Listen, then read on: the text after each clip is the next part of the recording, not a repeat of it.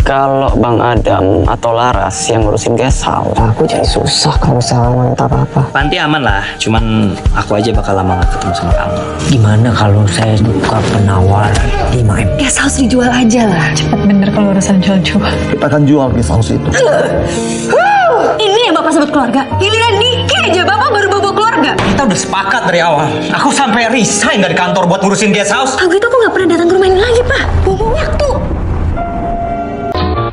Ah.